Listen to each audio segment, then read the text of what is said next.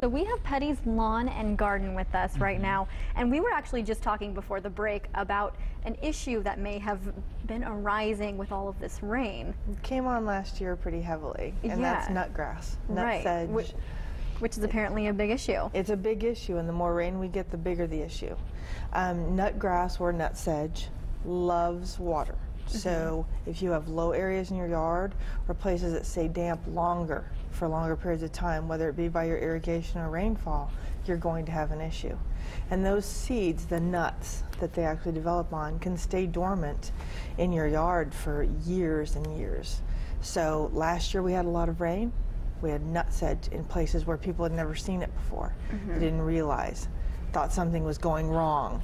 And now that we've had a lot of rain, you know, to knock the spraying off, we're going to see nut sedge again. So we need to stay on top of it, be really, really proactive, and get on, get ahead of it before it takes over our yards. I would say so. Wow. Yeah. So so unfortunately the rain is is, is not good in this circumstance. And it just keeps coming. Yeah. we love it. It needs Right. to keep coming. Right, right, right. It certainly, it certainly does keep coming. Um, so talk about how we can prevent uh, the the nut grass from from having not. Uh, I guess if we do have it take place, Mm-hmm. how do we properly get rid of it? Right. do not pull it. Okay. Never, ever, ever pull nut sedge. Okay. Nut sedge is a grass that actually grows from a nut underground. And if you pull the grass, it breaks off at the nut. The nut goes into, hey, I need to survive mode, puts out a hundred new shoots ah. With all brand new nuts, and you end up with going from a small spot of nut sedge to nut sedge in huge areas of your yard kind of taking over. So the best thing to do is to put down pre-emergence. If you have a nut sedge problem, put down pre-emergent about every three months. Nut, uh, pre-emergence lasts about six to eight weeks. So you can do it four times a year fertilize like you regularly would, and use the correct application of um, herbicide spray to get rid of it so that it controls it and knocks it down. But whatever you do, don't pull it.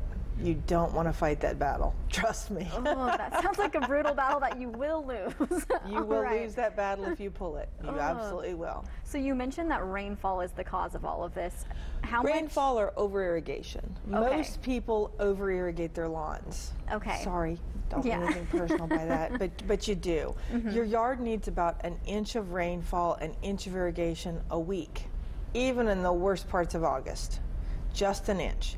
If you don't know how much that is, or don't know how much irrigation's coming off your system, or how much water's being put out per minute, set a tuna fish can in your yard. A plain old regular size tuna fish can. Eat the tuna. Yeah. yeah, you'll get a lot of questionable things in your yard if not. Turn your irrigation on, and when the can's full, that's an inch of water. Divide that by two or three times a week rain, you know, watering. Mm-hmm. You've got an inch of water. Another way you can test it is to get a small piece of wire, sturdy wire, or some kind of probe. Push it down into your yard. It should b- push in very easily. That means your, your ground is saturated and will move to let that rod go through. You're getting good water. Do that six to eight inches deep. That's all your root system needs. If it's hard and you can only push in an inch and you just hit a block wall, water is not penetrating your lawn. You may need to aerate. You may need to top dress with different composting soil so that it will break your soil down a little bit. There's lots of different ways to do it, but you want to make sure that your water is getting down as deep as it needs to by the density or hardness of your soil. Slow your irrigation down and watch for runoff. If you're getting a lot of excess runoff onto the ground, onto the sidewalks or streets, it's obviously not absorbing into the lawn. So you're either overwatering or you're watering too fast.